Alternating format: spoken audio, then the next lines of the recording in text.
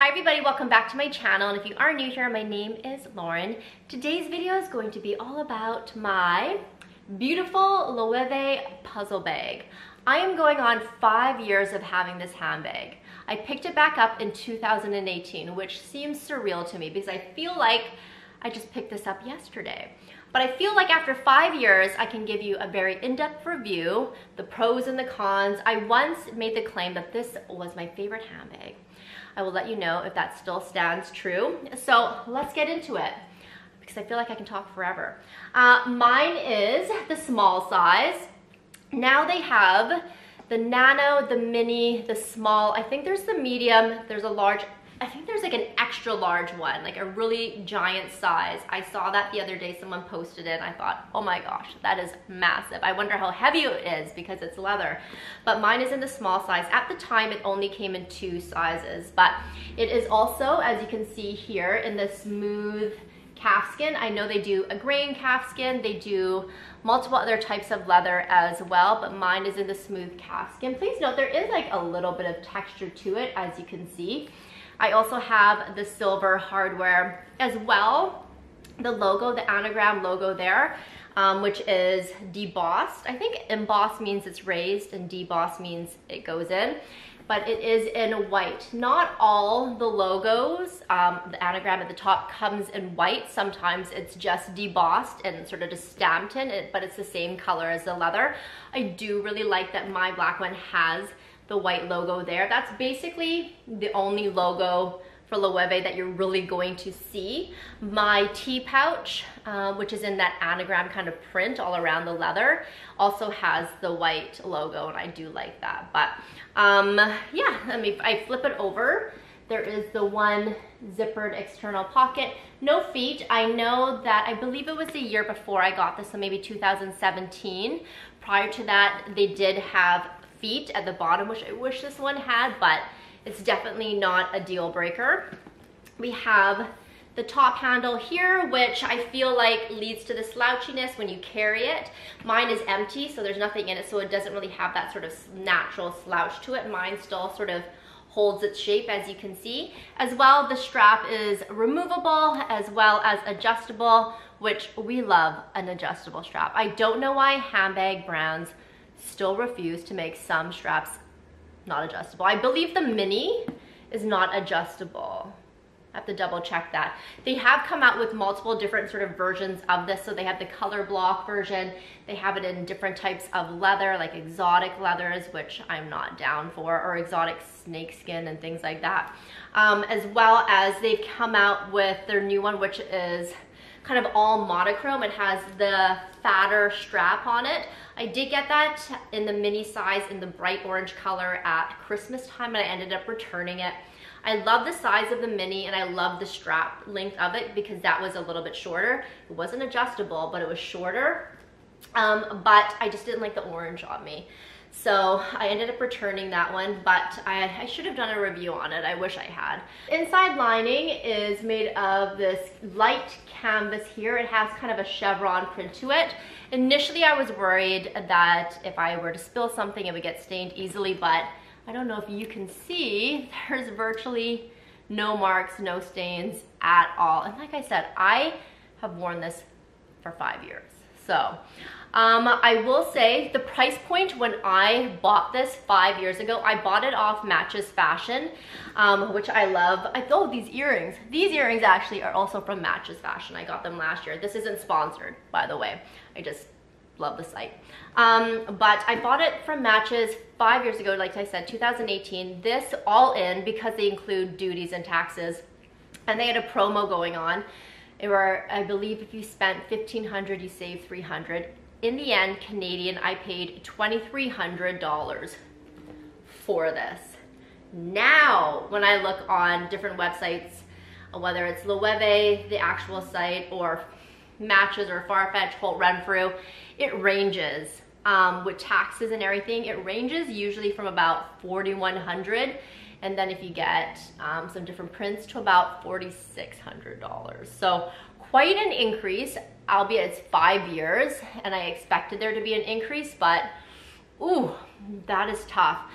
I will say though, and this might be a spoiler, but I will say if I were to somehow lose this handbag, or if I got stolen or something, like knock on wood, that I would 100% repurchase it without, without a second thought. So let me tell you why. So the first reason, this is just an easy to wear handbag. Whenever I have an outfit and I'm looking at my different handbags of what to wear, if I can't decide, I will always grab this one because I feel like it's just a like the shape of it as well as the fact that there's it's not monogrammed there's no fancy prints it's just a very sort of minimal design. This will go with everything and whether you're dressed up or whether you're in sweatpants i feel like this will go with everything. And if you are planning on dressing up then just remove the strap right? And then you can carry it in the crook of your arm or you can carry it handheld. Um, so i just love that it's easy to wear the other reason why I really like it is that it's very light when it's empty. Even when you fill it up, it's still rather light. But being a leather handbag, you always have the assumption that it's gonna be a little bit heavy. This one is not. This one is surprisingly light. And I also think it's because of the lining. Um, there is a little bit of hardware that adds to the weight, but it's just a light and very comfortable handbag to wear. So the strap is a little bit thicker, as you can kind of see there, and just it's just comfortable and easy to wear. So that's typically why I will always reach for it. The other reason is that while it is the small size, you can fit a lot in here. In my initial video, I think I showed that you can fit a swell, like a larger size water bottle in this handbag, which to me is kind of crazy, right? That you can fit a water bottle in here, but you can. It's small, but like compared to the size of my head, compared to my phone, like you can see right there, it can hold so much. So for all my essentials, everything will fit in as well as extras. So if I know I'm gonna be going out and say I'm, you know, taking out my friend's kids or my niece or nephew and I need to carry a little bit more, then this is just such a great handbag because I can fit, like I said, my essentials, but I can also fit snacks in them for them. I can fit a water bottle, like sanitizing wipes, everything like that. So it's lightweight, it's comfortable to wear, it fits a lot, um, it goes with every single outfit. One of the other reasons why I really love this handbag is because not a lot of people have it. Still, to this day. I mean, back in 2018, I feel like it was really rare to see anyone, here in Vancouver at least, to have a Loewe handbag.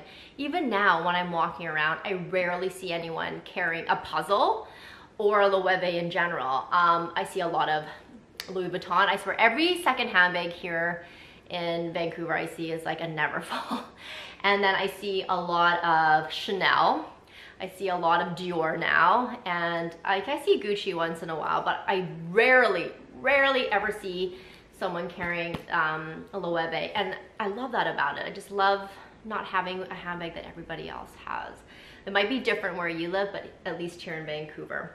Um, and then it's just minimal, right? It's minimal, but if you know, then you know, right? Because this shape, everyone knows it's Loewe. Like there's no other handbag designer that has a very similar shape to this, which I think is rare because like so many luxury brands will have, you know, a duffel bag or they'll have that kind of crescent shaped bag, which I know Loewe has, but none of them really have this kind of square shaped handbag, which I love. So it's a little bit different. It's a little bit sort of muted and understated. But like I said, if you know Loewe, then you know Loewe. So that's another reason why I really love it. Now, if we talk about some of the cons of this handbag, what I don't like about it, um, there's really only one thing, and that is the strap here, and you can probably see what I mean. So, I tend to wear this handbag. I think you're supposed to wear it so that this part is facing up, right, with the logo there. But I don't like when this little notch, like when that part, the metal part hits my shoulder. If I'm, like right now it's fine because I have a big sweater on, but say I'm wearing a tank top, I just don't like having that in. If it's full and it gets a little bit heavy, it just kind of presses in. I don't like it. So I tend to wear it so that it sticks kind of up like this. And then this curls up like that and I don't like it. And while this has this little strap here which holds it down, it always just moves up as the day goes on. So then I end up with something like this. that just sort of, if I pull my hair back, I have this, which just like flaps around and like hits me in the face or gets in the way. As you can kind of see, that's really annoying. So then I have to constantly kind of adjust it and push it back down. But then as I wear it, I don't know if it just rubs maybe like that. It just sort of like somehow manages to go back up. So I feel like that's an easy fix. I could probably just get an elastic band and kind of secure that down. But um, I would say, honestly, like that is the only con, other than the price now. The price of this is absurd. Um, but like I said, I would still pay it if I were to lose this handbag. But the price point is tough. And then this part here, I just don't like. Everything else about this handbag, I love. When we look at the wear of this handbag, for going on like my fifth year of having it, and this is still my favorite handbag. I still wear this the most. I feel like the wear is pretty good. Like some leather will get like really misshapen and saggy and I don't, I used to stuff this when I first got it and take really good care of it, but now, I, I mean, I put it back in its dust bag, but I don't stuff it anymore. So I just kind of let it sit there and you can see that it's still kept its sort of boxy shape. You can see the leather there. It looks really good. Even the sides look really good. There's maybe a couple marks. You can see that there's uh, a mark there. The bottom, the bottom also looks really good. I dropped this in the parking lot of Trader Joe's one year. I remember I was, you know, down in the States doing some Trader Joe shopping and I remember it fell out of my car and landed on the ground. I was like. I thought there would be much more damage, but literally, you can see it looks so this looks so good. Um, I've been caught in the rain with it because I live in Vancouver and it rains all the time.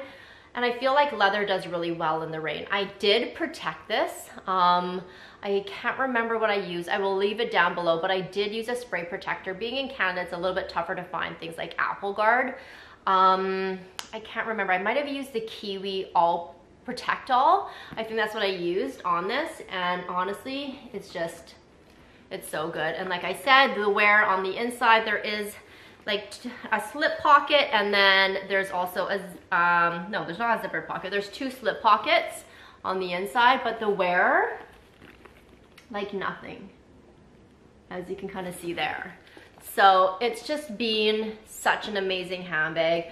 Um, even the top part here, I know I've seen some people that have cracking and that typically happens. So along the piping there, and the glazing begins to crack or the leather gets um, a little bit like brittle and begins to crack, nothing. Nothing. It still looks so good for how much I have worn this. So I would definitely say now if you're thinking about getting it, get it. If there was a size to recommend sort of for an everyday handbag, I would suggest if it's your first one to get the small. I still like the mini, I really do, but the fact that the strap is not adjustable bothers me. The mini also doesn't have this external zippered pocket, which kind of bothers me as well. Um, but this just, it holds your essentials, but then if you need more room, it has more room for you. So definitely recommend it. Still would give it 10 out of 10. Still my favorite handbag. I love this one and I will never, ever, ever sell it, ever. So that is my final thought on this. If you have any questions, please leave them down below and I will see you in my next video. Thank you again for watching. Bye.